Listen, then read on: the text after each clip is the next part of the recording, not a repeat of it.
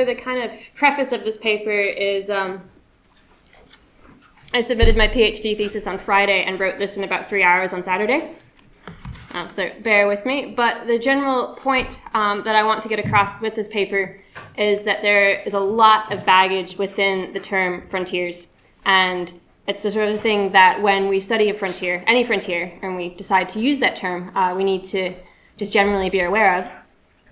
Um, so the first thing I'm going to discuss briefly are the, the one we know best, Roman frontiers. Uh, we'll touch on the Wild West uh, American frontiers. Uh, we're going to go to Australia and the frontier wars, Alaska, the last frontier, space, the final frontier. Then we've got the frontiers of the European Union and uh, Antarctica and climate change, which is also known as the last frontier.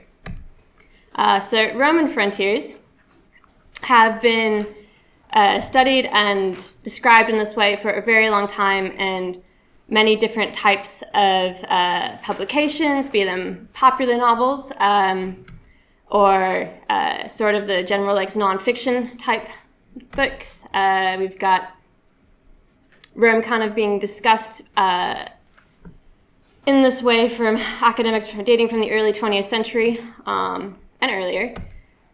We have massive um, kind of generalized publications from con uh, conferences like the Roman Frontier Studies, the Limes Congress, which is run every four years.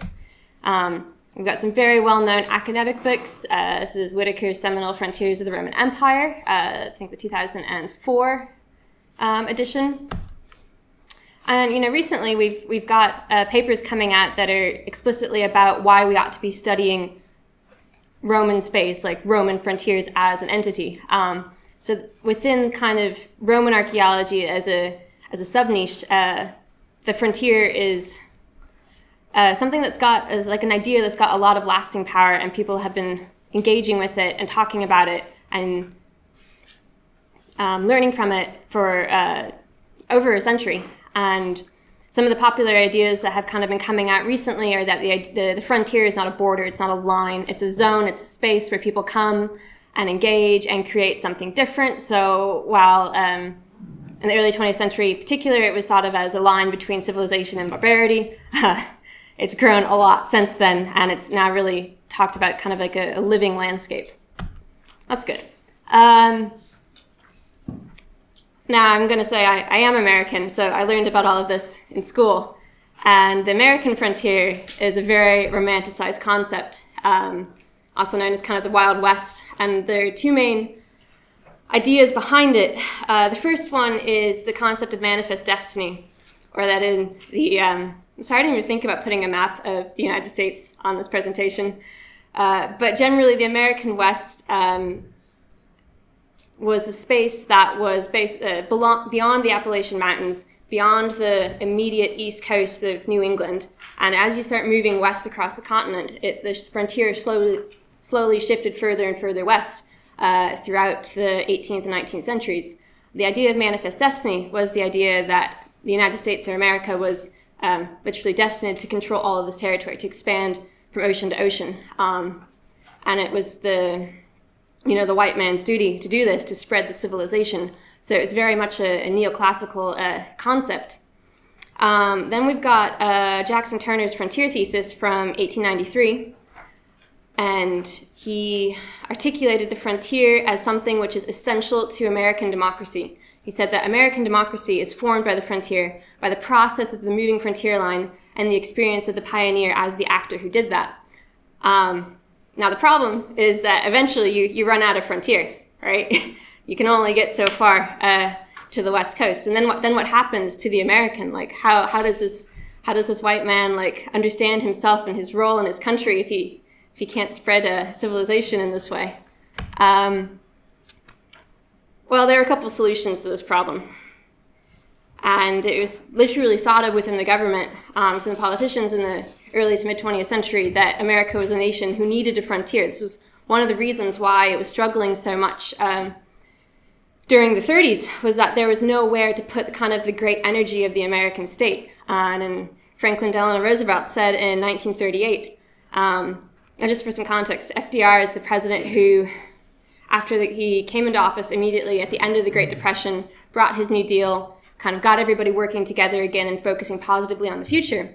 And sort of the language he used was that there is still today a frontier that remains unconquered, an American unreclaimed. This is the great, the nationwide frontier of insecurity, of human want and fear. This is the frontier, the America that we have set ourselves to reclaim.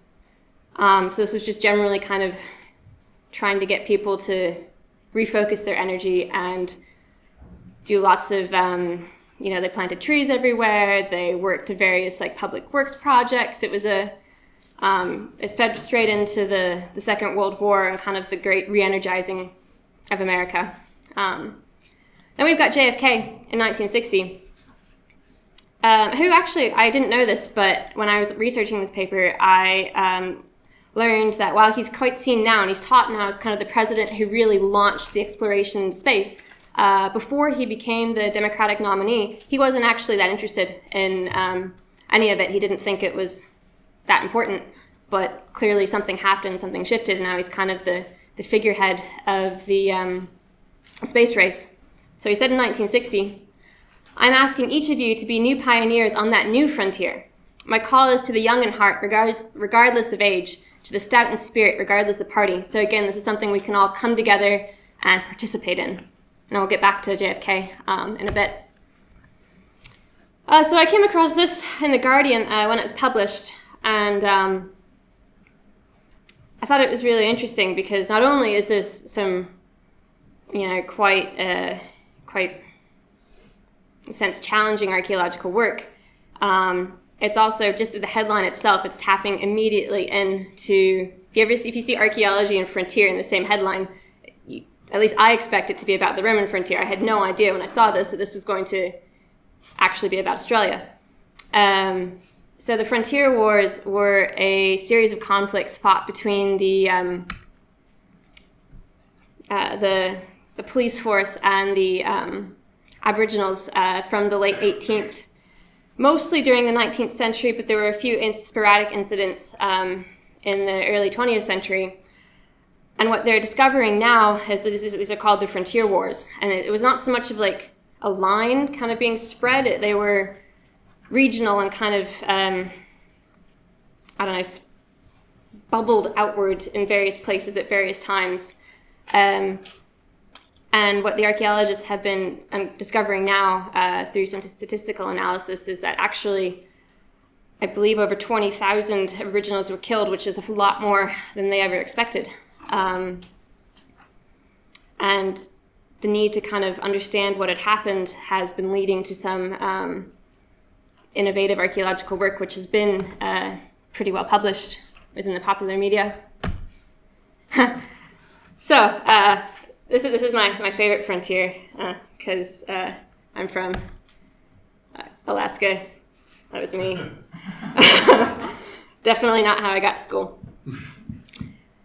So Alaska, when you when you grow up there, you've kind of got this sense that you know you live somewhere different, somewhere special, and that's definitely something that gets kind of beaten into you whenever you leave Alaska, and people are like, "Oh my God, you live in an igloo?" I'm like, "No, no, I don't." Um, as a territory, as a region, Alaska is massive.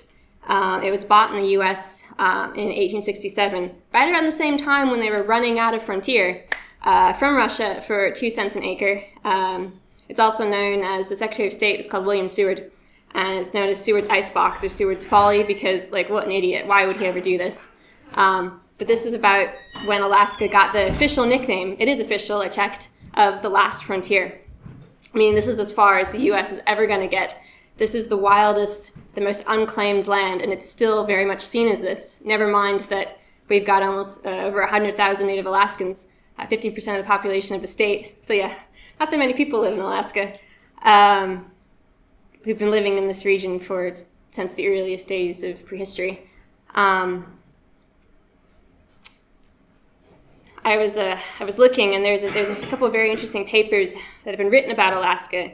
But whenever you start trying to look up Alaska, the last frontier, you get stuck um, in the, the, the deep dark hole of TV shows about Alaska, which is about anything any, anyone ever wants to talk to me about in the UK. Have I seen um, whatever's the most recent one? And I'm like, no, no, generally I haven't. Um, so while Alaska, on the one hand, is this state of nature, it also serves America's cultural needs to have a frontier. Apparently, this is something we desperately need in order to feel American. Um, it's something wild, remote, foreign. I've had people ask me if Americans ask me if they need their passport to travel to Alaska. No. Uh, can you use dollars? Yes, you can. People speak English? Yeah, mostly. Um, I mean, a, a, version of English. Um, so it's heavily romanticized, even by Americans, especially by Americans. And I created a phrase. It's also heavily TV seriesized. Uh, yeah, I just wanted to emphasize that, yeah, there's a, a lot of different, uh, they kind of lumped together as the Alaskan natives. And there's a lot of different ones, and they're all over the state, and they've got a fascinating history. This is a map showing the many different um, regions of different ling uh, linguistic dialects. And uh, there's something that you've, you've not looked into, kind of the archaeology and the history, both of the work into the Native Alaskans and to kind of on the edge of climate change. There's a lot of really interesting stuff going. So have a look at that if you've uh, got some spare time. Let's see. I'll start here. Oh, and just to emphasize how much it's identified as the frontier, can you see uh, the mail stamp? They literally stamp mail from Alaska as from the Alaskan frontier. I didn't know that until I looked at my post. Okay, so now we're going to get to the, uh, the final frontier. And we're going to go back to JFK, who, again in 1960, I think in the same speech, uh, we stand today on the edge of a new frontier. The Alaska. I'm not sure how Alaska, the last frontier, and the final and the new frontier kind of relate, or the final frontier. It's, I think it's a very convoluted relationship. Um, but we stand today on the edge of a new frontier, the frontier of the 1960s, the frontier of unknown opportunities and perils, the frontier of unfulfilled hopes and unfulfilled threats. Beyond that frontier are uncharted areas of science and space, unresolved problems of peace and war, unconquered problems of ignorance and prejudice, unanswered questions of poverty and surplus. So to me, this brings in mind kind of the way that the Roman frontier is talked about, in that there's this giant space beyond, maybe not space for science, but space with unanswered problems, unconquered problems, uh, unanswered questions, you know, something new. And that kind of begs the question is, you know, well, what if there is somebody out there? Then are we just going to replicate the whole uh, relationship of people living like on one side of the frontier and the other by doing it with Earth and outer space? I don't know. Um, so the penultimate one, I've got the uh, EU frontiers, and generally, um, although the term frontier is used frequently is generally mean to indicate border. And, um, but it's still a loaded word. And it's complicated because the borders of the EU are constant, or have expanded. You can see from this map, um, we've got member states who are admitted in uh, 2004 in Eastern Europe. We've got candidates beyond that in Turkey. Um, but we also have the potential for a retraction if Brexit happens. And that doesn't really fit with frontier imagery as linked to civilization and progress because you can't, well, maybe you can, uncivilize a region. Um, so, so that'll be interesting to see kind of what happens with the terminology should this should Brexit go through. Uh, so the last one, and I'll admit this is the one that I think the frontier imagery is the most um, evocative for, is the Antarctica and climate change and is, this term is frequently used uh, by scientists in particular. There, there's a group called the frontier scientists who are interested in climate change in the Arctic and the Antarctic. Um, you know, it's like he, he, they say here, like for us, this part of East Antarctica is one of the last frontiers, and that is very exciting for science. Uh, when we explore at the very edge of our knowledge, it can lead to huge shifts, huge shifts in our understanding. This is the British Antarctic Survey. Um, so again, they're at the edge, they're looking beyond, uh, they want to learn something new. And I think that in this case, uh, climate change is definitely the real last frontier because it's something that if we don't solve, if we don't get beyond, uh, then we're all in a whole lot of trouble. So in this sense, I think it's, it's a good thing that they're using such a loaded word to kind of indicate the gravity of the situation. And make, again, but making it seem as something that the, you know, the entire world needs to tap into because uh, in a sense, the concepts like the Roman frontier and the American frontier, they're all, um, you know, very evocative because they evoke, you know, classical imagery. But here we've got a frontier that is, you know, very much of global importance. So somehow we have to kind of divorce this concept from these very specific historical uses. Um, so some brief conclusions. Generally, uh, frontiers, just the use of that term, meaning a space or border or region or concept, it evokes ideas about civilization and progress, imperialism, the West, violence, wilderness, nature, the innate need of humankind to explore, and in particular Americans, uh, barbarians, borders, the East, expansion, manifest destiny, space, cowboys, romanticism, something to conquer, um, discovery. There's probably loads more that I couldn't fit on this slide. Um, and my only real point, um, just before all these talks, is that I think it's important that when we use it and we talk about frontier theory or just frontiers in general, to be aware of all of this baggage and these many different uses. So, thank you.